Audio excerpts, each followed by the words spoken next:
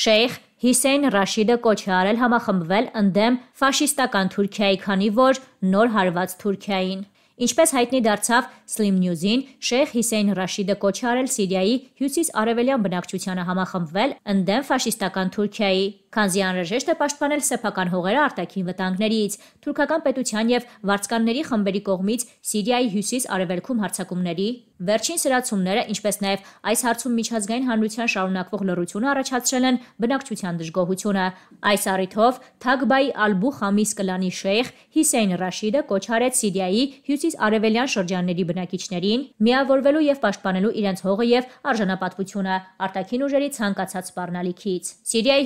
հյուսիս-արևելյան ուղությամբ Թուրքիայի վերջին հարձակումներն իրականացվել են ծանր զինտեխնիկայի եւ անօթաչու թռչող սարքերի միջոցով։ Սրանք քաղաքացիական անձանց դեմ կատարված հանցագործություններ գործողություններն նրանք փորձում են ստիպել խաղաղ բնակիչներին լքել իրենց տները։ Այդպիսով արհեստական փոփոխություններ մտցնել այդ շրջաններում։ Սա Թուրքիայի ագրեսիայի բացահայտ պահվածքն է, որը զայրույթ է առաջացրել սիրիական բոլոր շրջանակներում։ Բացի այդ, այս շրջանի բնակիչներին չի գոհացնում Թուրքիայի խաղաղության պայմանագրի երաշխավոր երկրի Ռուսաստանի կողմից լռությունը եւ այդ ֆոնին Թուրքիայի կողմից հարձակումների եւ պայմանագրի խախտման մշտական պահվածքը։ Մեկ անգամ եւս շեշտում եմ, որ մենք կարող ենք ապավինել միայն մեր սեփական ուժերին։ Այս պատմական փուլում մենք չպետք է հույսներս դնենք որևէ արտաքին ուժի աջակցության վրա։ Մենք պետք է համախմբվենք, մերը ստեղծենք, մեր ներքին ճակատն ու աշխատենք ինքնակազմակերպման վրա։ Մենք բոլորս պետք է պատրաստ լինենք դիմակայելու ֆաշիստական թուրքական պետությանը, որը ձգտում է պղծել մեր սուրբ հողը։ Արաբական երկրներին եւ միջազգային հանրությանը կոչ եմ անում համապատասխան վարկագիծ դրսևորեն Սիրիայի հյուսիս-արևելքում եւ Սիրիայի այլ տարածքներում թուրքական ագրեսիային վերջ դնելու համար,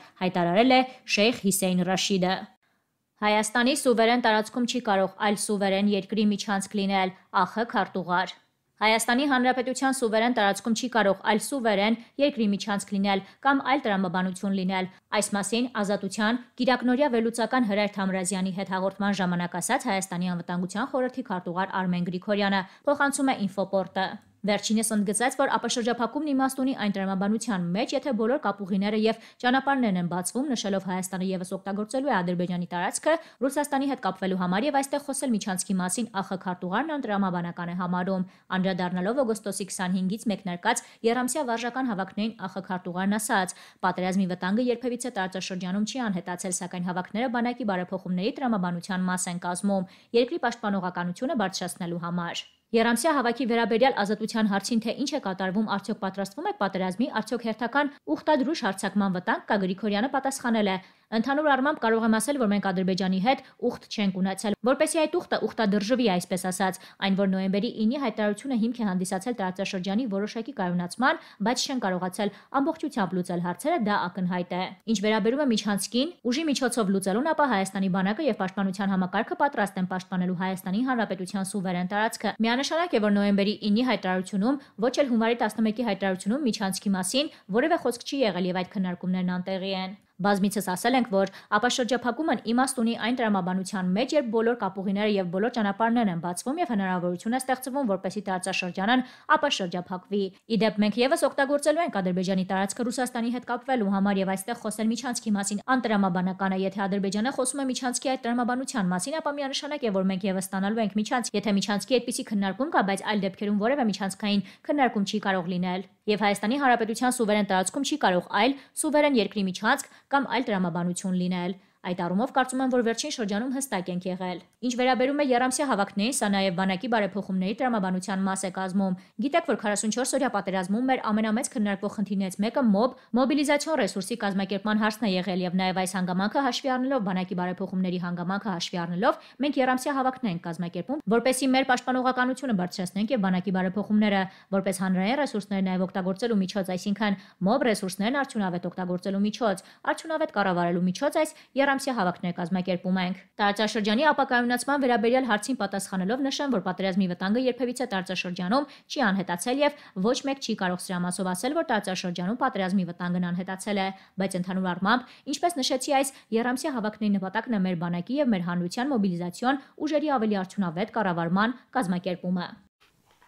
7 հանձնաժողովի անդամներն էլ ներկա են։ Եթե առարկություններ չկա, սկսենք։ Այս ստորագրությունները հավաքենք։ Եթե ճիշտ եմ հասկանում, ըստ ավանդույթի պետքա նախ հաստատենք նիստի օրակարգը հետո նոր անցնենք հարցերի քննարկմանը։ Այսօր ունենք երկու հարց, երրորդ հարցը պայմանական այլ հարցերի խորագրով է անցնում։ Եթե օրակարգի հետ կապված կան հարցեր, խնդրեմ։ Եթե չկան, առաջարկում քվեարկենք, հաստատենք։ Ով է կողմ։ Միաձայն, շնորհակալ եմ։ Առաջի հարցի կապակցությամբ ուզում եմ հանձնաժողովի մեր գործընկերներին տեղեկացնել, որ քաղաքացիական պայմանակիր խմբակցությունը մեր հանձնաժողովի նախագահի տեղակալի համար առաջարկել է падգամավոր Վաղարշակ Հակոբյանի տեխնացությունը։ Ես երևի խնդրեմ պարոն Սարգսյանին, հա, ներկայացնի տեխնացությունը։ Հավաքեցեք։ Ողջունում եմ ձեզ հարգելի գործընկերներ։ Մեր գործընկերոջը Վաղարշակ Հակոբյանը փորձեմ ներկայացնել կենսագրությունը Ծնվել է 1991 թվականի հունվարի 1-ին Ծաղկաձորում։ 2011 թվականին ավարտել է Երևանի Պետական համալսարանի Արևելագիտության ֆակուլտետը, թուրքագետ է։ 2013 թվականին ՀՀ Գիտությունների ազգային ակադեմիայի գիտակրթական միջազգային կենտրոնի արևելագիտության ֆակուլտետի մագիստրատուրան է ավարտել, նույնպես արևելագետ մասնագիտ մասնագիտացմամբ 2016 թվականին նույն ֆակուլտետի ասպիրանտուրան։ Պատմական գիտությունների տեխնացու է, գիտական մի շարք հոդվածների հեղինակ է։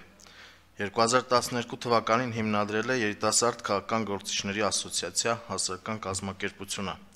15-16 թվականներին դասավանդել է Երևանի ֆրանսիական քոլեջում